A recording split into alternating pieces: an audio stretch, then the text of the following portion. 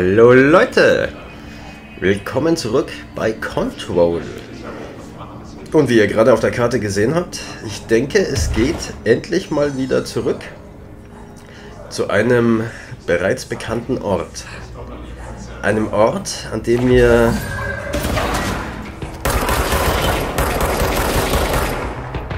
ah, schön liegen bleiben. An dem wir bereits waren und nicht weiterkamen. Sieht die Sache wahrscheinlich anders aus.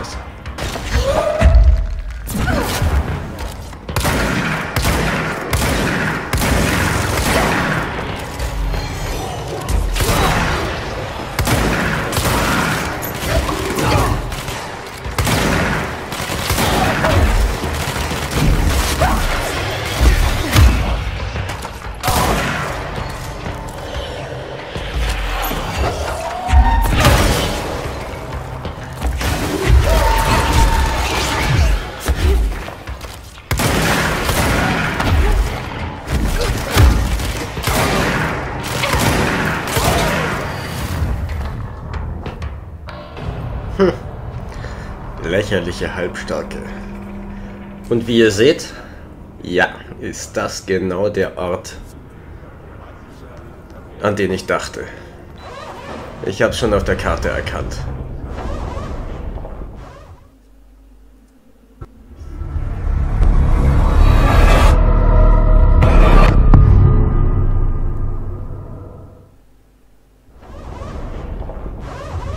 Ganz recht.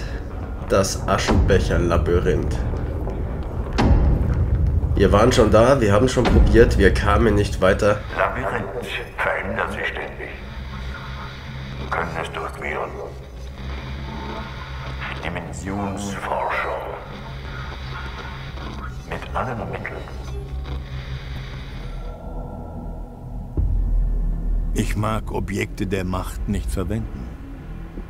Ich verlasse mich nicht gern auf Dinge, denen ich nicht trauen kann. Aber der Aschenbecher und die Zigarette, die hier endlos dampft, haben ihren Nutzen. Ihr Aschenbecher-Labyrinth verändert sich ständig und nur der Binder und jene, die er einlädt, können es durchqueren. Die Dinge, die wir in der Dimensionsforschung versteckten, die Darling studiert, die Gefahren müssen mit allen verfügbaren Mitteln gesichert werden. Das Labyrinth ist eindeutig das stärkste davon. Ich erlaubte Darling und seinen ausgewählten Leuten, es zu durchqueren. In letzter Zeit denke ich, sollte ihnen diese Erlaubnis wieder entziehen.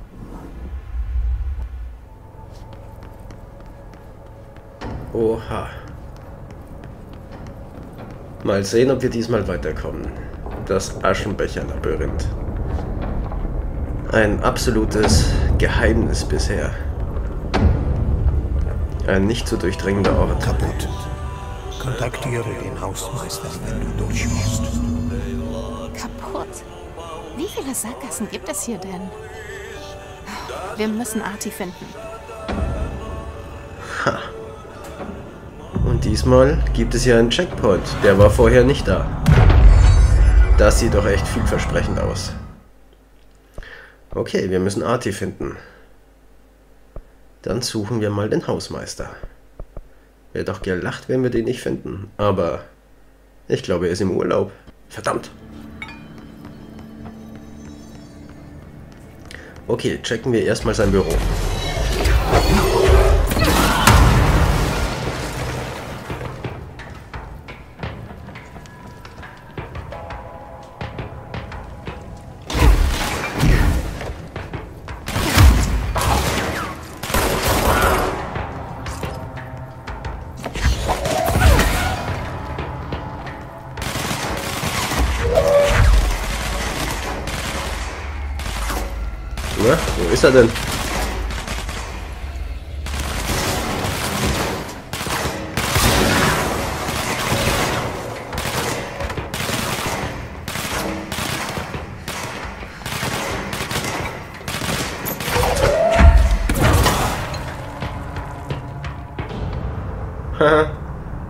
Lächerliche Idioten, die treffen ja nicht mal.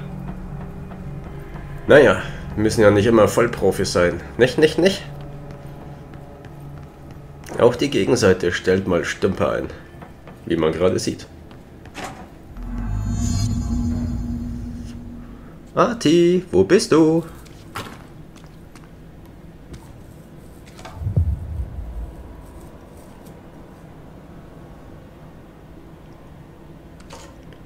Naja, auf jeden Fall hat er ein paar Aufträge zurückgelassen. Ja, da werden wir uns bei Gelegenheit auch drum kümmern. Aber jetzt heißt es erstmal den Hausmeister finden. Er ist im Urlaub. Kein Arti. Wo ist er? Ja, wo ist er? Jetzt ist dieser Junge weg, sagt der Sohn von Anniki Terti. Mein Assistent wird weiterarbeiten und das Haus erhalten. Lamille Lomps, Urlaub Homps. Wie kann hier überhaupt jemand raus, solange das Gebäude versiegelt ist? Und auch noch in Urlaub gehen? Schätze, ich werde es gleich herausfinden. Oha. Erstens hat Jesse recht, aber ich denke ja auch, wie schon gesagt, der Hausmeister ist nicht nur der Hausmeister in diesem Haus. Ich glaube, der hat viel mehr Macht, als er zugibt. Und als er scheint zu sein. Wir werden sehen. Mal sehen, wo uns diese Visionen denn hinführen. Oha. Wieder so ein Stümper, der nicht checkt, was Sache ist.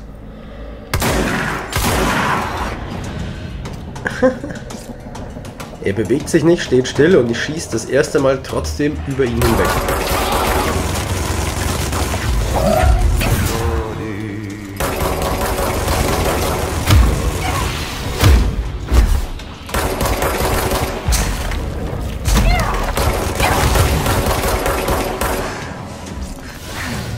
Boah, das hätte ich jetzt beinahe vergeigt.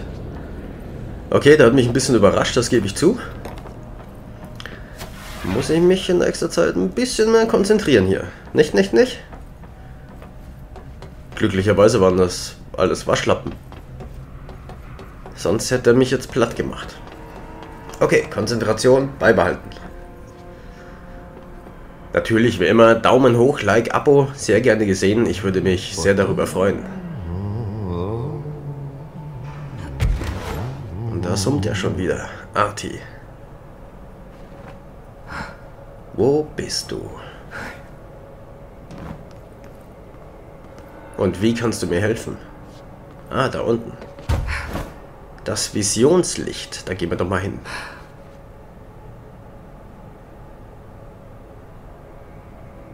Apropos, ich zock ja immer noch mit meinem Ersatzcontroller, der nicht von Sony ist.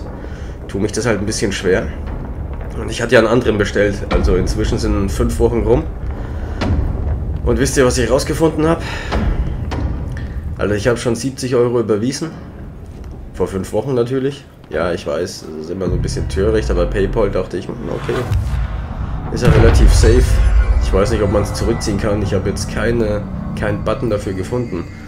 Aber ich habe eine E-Mail geschrieben, wie sieht's aus? Ähm, Kriege ich eine Info? Wie lange dauert es noch? Keine Antwort. Also habe ich die Webseite mal aufgerufen. Und was war da? Website not available. Na toll. Betreff der Hochofen. Warum dürfen wir darin keine veralteten Papiere verbrennen? Erscheint mir Verschwendung eines absolut guten Feuers zu sein. Ich will nur ein bisschen Geld und eine Menge Aufwand sparen. Das gefällt Anzugtypen doch normalerweise, oder? Womit wird der Hochofen denn befeuert? Und wer ist überhaupt dafür verantwortlich?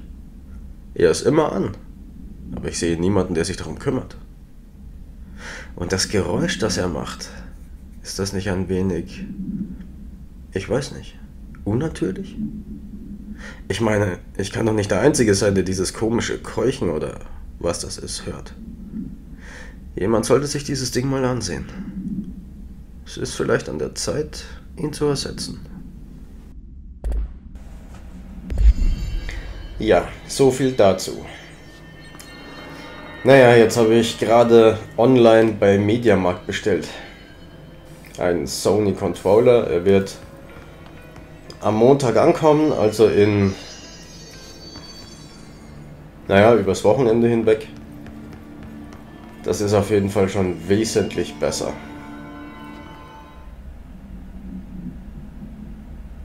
Oha, Arti im Urlaub. Da ist er, in seiner Blockhütte. Wie kommen wir dahin? Hier drin ist der Fungus auch. Na gut. So ein Sonderaufwand, sagt sie. Zog die Waffe.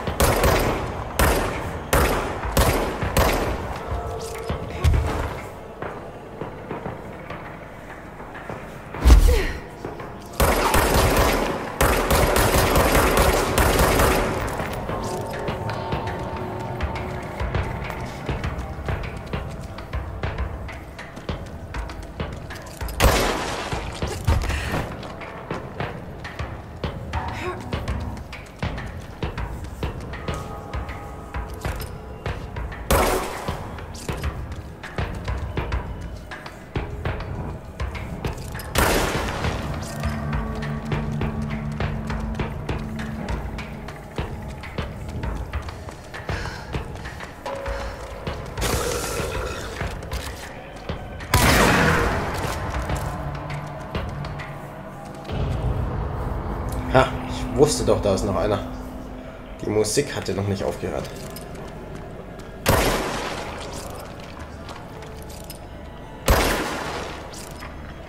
Ja, ich weiß schon. Die Frage, die ihr euch jetzt stellt, warum habe ich nicht gleich beim Mediamarkt bestellt? Ja, das war ganz einfach. Nämlich als die PlayStation 5 rauskam, habe ich nirgendwo, ich weiß nicht, ob es allgemein der Fall war oder jetzt nur in meiner Region, einfach keinen PlayStation 4 Controller mehr gefunden. Es gab keinen mehr. Unfassbar. Deswegen habe ich eben auf dieser Webseite äh, bestellt. Ein Kumpel hat auch da bestellt, zwei Controller und bei ihm kamen sie an. Keine Ahnung, was da passiert ist, ob die in der Zwischenzeit äh, pleite gegangen ist oder ob es doch irgendwas Dubioses war. Ich weiß es nicht. Auf jeden Fall hat der Winchester-Fluch wieder zugeschlagen und mich verarscht. 70 Euro weg. Aber gut, ums Geld geht es mir nicht. Ist mir scheißegal, ehrlich gesagt. Äh, was viel ärgerlicher ist, sind diese fünf Wochen. Diese Zeitverschwendung einfach. Und inzwischen habe ich gecheckt, dass es bei Mediamarkt eben wieder Controller gibt. Zwar nicht zum Holen, abholen kann man sie nicht, aber man kann sie bestellen. Und das ist ja schon mal was. Jetzt muss ich nur noch drei, vier Tage warten. Wochenende ist dazwischen. Und dann habe ich endlich einen neuen Original Sony Controller, der wieder astrein funktioniert und ich wieder mein ordentliches, ursprüngliches Gameplay an den Tag legen kann. Ah, da freue ich mich schon drauf. Ja, das ist eine weitere Geschichte des Winchester-Fluchs, mit dem ich offensichtlich gestraft bin. ist kein Einzelfall, da gibt es einige solche Geschichten. Aber damit will ich euch jetzt nicht langweilen. So, wenn wir schon hier sind und der ganze... Oh, da ist ein Kistle, da müssen wir hoch. Äh, und sich hier offensichtlich Fungus befindet, warf ich mal einen genaueren Blick darauf. Denn wenn wir den gleich mitnehmen können, dann ersparen wir uns den Weg hierher zurück. Aber ich habe mich gerade schon ein bisschen umgesehen und ich kann gerade auf die Schnelle nichts finden. Ich glaube, ein oder zwei Sporen oder Pilze fehlen hier noch. Aber ganz ehrlich, wisst ihr was? Jetzt kümmern wir uns erstmal um Arti. Dann komme ich halt später doch nochmal hierher zurück, wenn es an der Zeit ist. Und jetzt gehen wir erstmal weiter der Story nach. Bin nämlich heiß und ich bin gespannt. Und willkommen zurück im Ocean View Motel. Mal wieder. Immer wieder schön und interessant hier zu sein. Mal sehen, welches Rätsel heute auf uns wartet. Hm? I. Äh. Uh. Ich wurde voll geschleimt.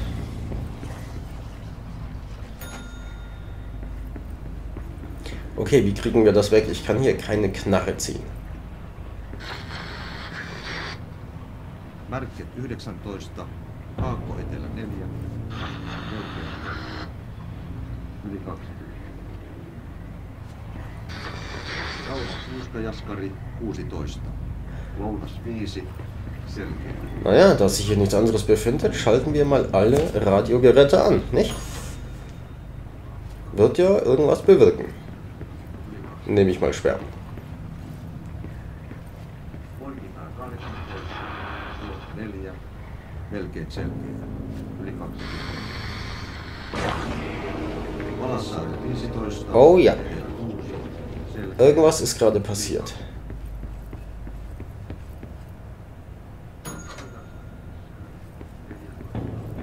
Es ist weg. Und da liegt er. Der Schlüssel, einwandfrei. So, diesmal hier nach links. Eine andere Tür. Ah, sieht nach der Hausmeistertür aus.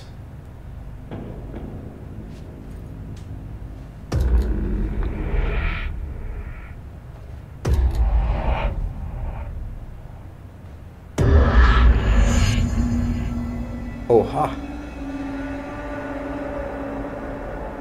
Wo sind wir denn hier gelandet? Eieieiei.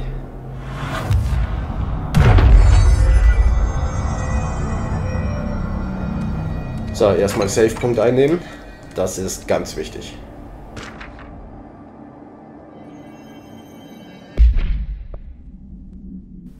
Albany, AWI-29, Ereigniszusammenfassung. Es wurde eine Eingreiftruppe zu einem möglichen auftretenden AWI in die Albany geschickt. Am Schauplatz traf die Truppe auf GO63 und nahm ihn in Gewahrsam. Eingriff während des Ereignisses. Die Behörde hatte online zahlreiche Nachrichtenforen entdeckt, in denen von lauten Geräuschen aus dem Versandlager der Corporation die Rede war. Die örtlichen Gesetzeshüter waren auf zahlreiche Leichen mit verschiedenen Verstümmelungsgraden in der Nähe gestoßen. In Kombination mit den Geräuschen wurden diese als Beweis für einen Werwolf gesehen, da die Morde nur in den letzten drei Vollmondnächten geschehen waren. Agent im Außendienst begleitete eine Truppe auszubildender Ranger zum Schauplatz.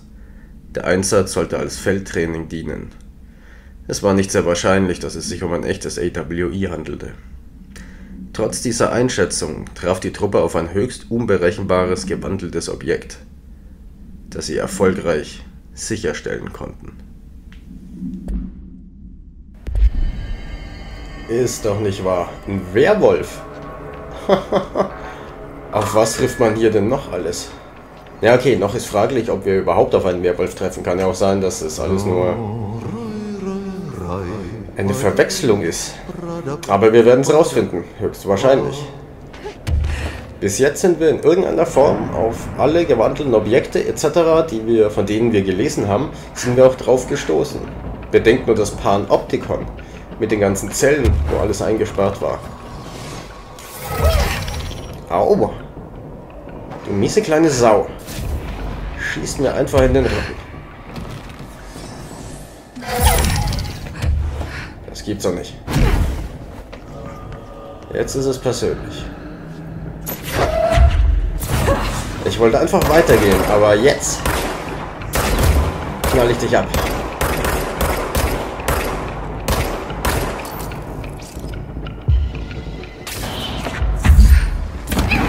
Splash. Ja. Sieht tot aus. Tja, selber schuld. Ich hätte dich ignoriert beim ersten Mal, aber beim zweiten Mal, nein.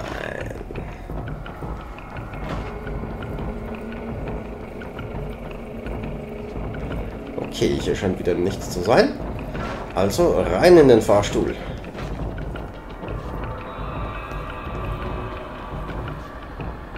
Oder nicht.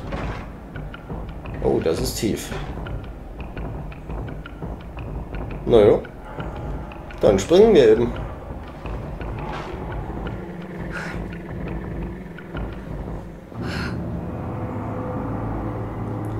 Ja, es ist schließlich Jessie Faden. Die kann das. Kein Abgrund ist zu tief. So, Arti, wir kommen. Wir sind auf dem Weg. Wo auch immer du steckst. Ich finde dich. Naja, das klang jetzt ziemlich böse. Ich, nochmal. Tja, Arti, wo immer du steckst. Ich finde dich. Ja, das klang besser. Denn er ist, äh, er hilft uns ja. Ist zwar sehr eigen. Und ein bisschen ignorant vielleicht, was meine Position angeht. Aber netter Karl. Die Frage ist nur, was ist er genau? Also nicht was im Sinne von welches Wesen, sondern von welcher Position her. Denn ich glaube nicht, dass er lediglich Hausmeisterfunktionen hier hat. Dafür hat er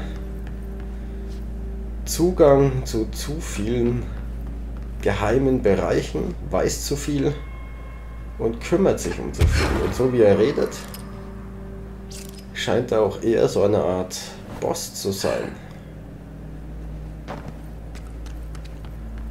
So dass er sich überhaupt erlauben kann, so zu reden. Denn ich denke, er ist sich ziemlich sicher, dass ich die Direktorin bin. Also, dass Jessie die Direktorin ist. Was?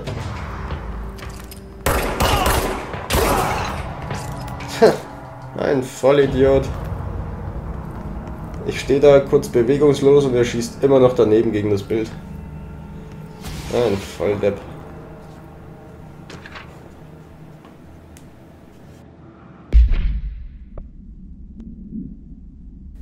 Albany, AWI-29.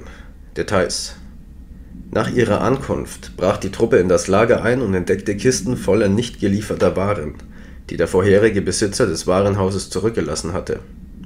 Während sie den Geräuschen nachgingen, ließen entlang der Südseite des Gebäudes die Wand nach innen einstürzen. Holzkisten mit beschleunigter physischer Aufgrund schlugen Agent im Außendienst sowie zwei Auszubildende bewusstlos. Die anderen entkamen aus dem Warenhaus, bevor es vollständig einstürzte. Im Geröll fanden sie GO63 im Zentrum des, wo er Schutt anzog und wieder abstieß. Sie hielten um den Gegenstand herum Wache, bis der Mond unterging und die gewandelte Eigenschaft aufhörte. Sie brachten den Gegenstand ohne weitere Zwischenfälle in die Behörde zurück. Todesfälle konnten vermieden werden. Beim Einsturz des Warenhauses gab es keine Zeugen, weshalb die Verbreitung alternativer Informationen durch die Kommunikationsabteilung nicht erforderlich war. Oha. Ein weiteres gewandeltes Objekt hier im Gebäude. Ja, wir werden sehen. So, aber jetzt sehen wir erstmal, wie es hier weitergeht.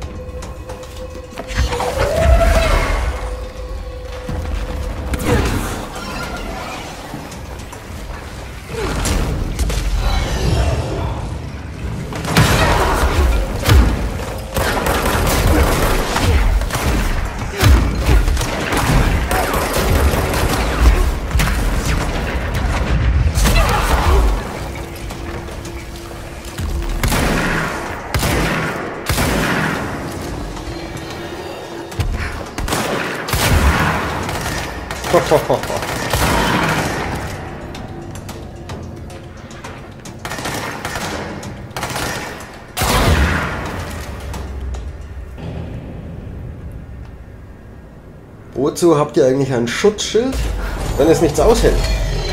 Wenn es euch nicht schützt?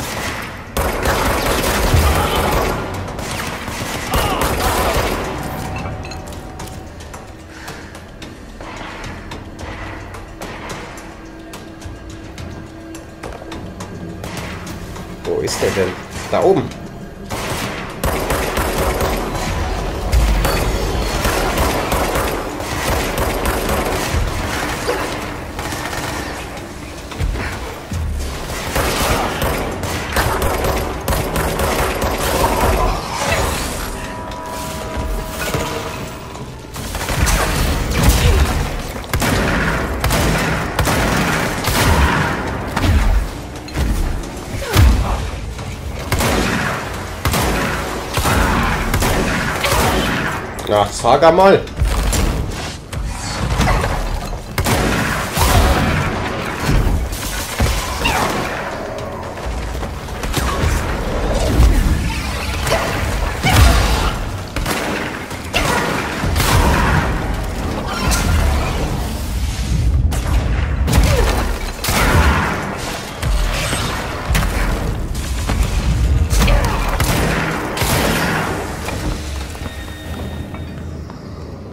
Da habt ihr es gerade gesehen, als ich bei dem einen Typen, der unmittelbar vor mir stand, fünfmal daneben geballert habe.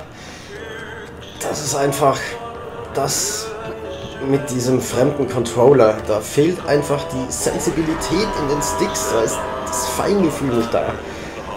Das ist nicht wie beim Sony Controller, dass das Fadenkreuz so, wenn man langsam rüber geht, auch langsam mitzieht und je nachdem wie wie man den Stick bewegt, dass sich das Fadenkreuz dann auch in der entsprechenden Geschwindigkeit eben angepasst, in der entsprechenden Sensitivität eben da mitzieht. Bei dem Controller ist es so, du machst nach links und er wischt nach links, gehst nach rechts, wischt nach rechts. Da fehlt einfach dieses Feingefühl und das stört mich. Ich bin so froh, wenn ich endlich wieder einen Sony-Controller in Händen halte. Aber momentan geht es auch so. Und ich meine, bei diesen Oberglombus, die ihr gerade gesehen habt, die haben ja nichts drauf. Naja, gegenwärtig nicht. Aber wir haben ja auch schon echt heftige Gegner kennengelernt. Jetzt sehen wir erstmal, wohin uns dieser Aufzug bringt. Arti hören wir ja schon singen. In Gedanken in Visionen. Was ist das hier? Das Fundament des Gebäudes, oder wie?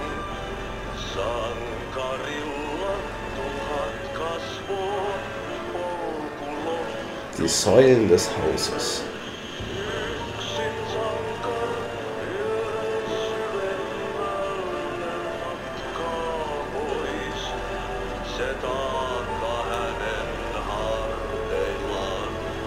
Ja, aber auch das ha Harti, das Arti offensichtlich, wie Jesse schon vorhin gemeint hat, dieses Gebäude verlassen kann, obwohl es abgeriegelt ist, unter Quarantäne steht und von einer Invasion äh, heimgesucht wird aus einer fremden Dimension, kann der trotzdem, so wie er will, verschwinden und in Urlaub gehen. Ja, der ist mehr als nur Hausmeister, definitiv. Da vorne ist was. Siehst Oha. du es? Ja, ich sehe es. Da gehen wir mal hin.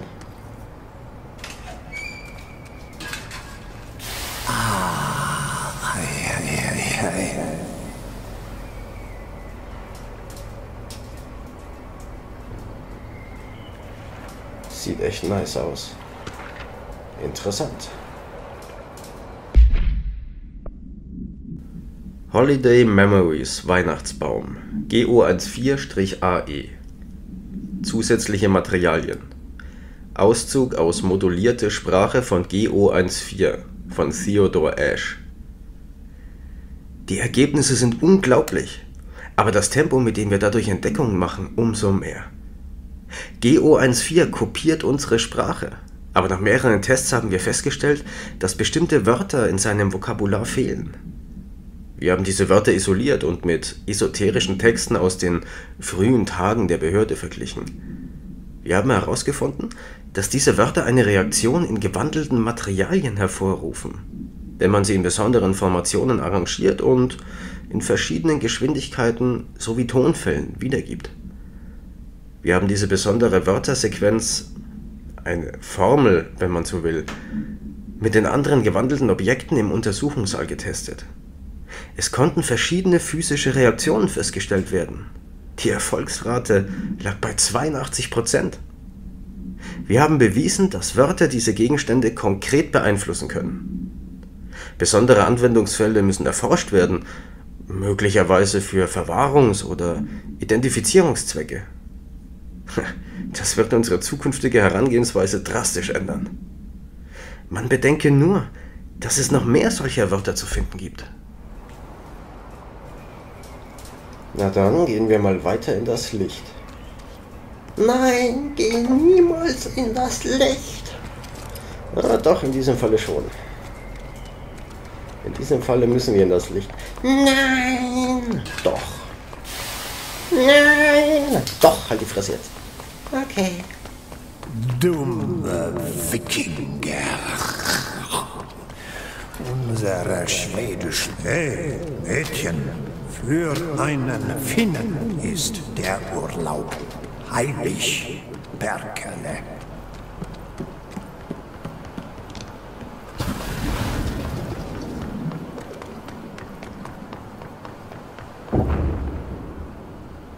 Arti?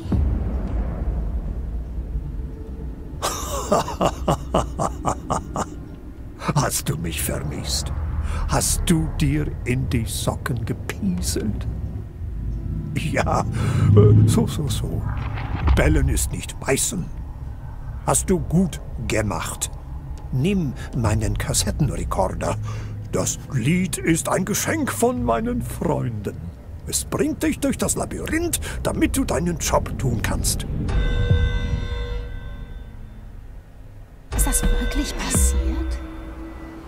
Mir seinen Kassettenrekorder gegeben. Damit komme ich also durch das Labyrinth. Hm. Ein Hausmeister hat eben immer Schlüssel.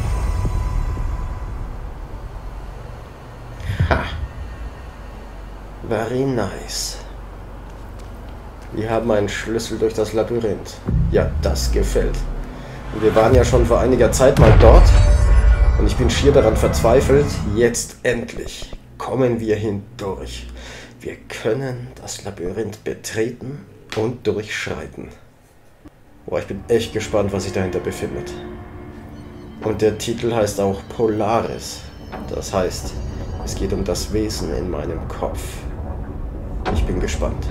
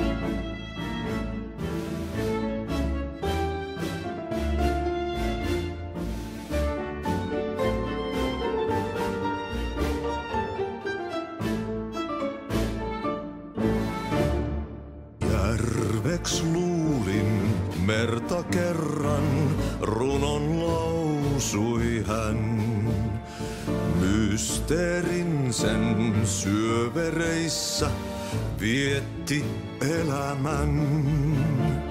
Alla synkän valtameren varjois vaeltaa. Etsi tietä valon luokse armaan ainiaan. Yksin sankar yön syvemmälle se taakka hänen harteillaan, kuin lupaus aina ois. Tässä pelissä tää narri lyödään maahan aina vaan, vaan hetki kuolus lepo suodaan jo takas kutsutaan.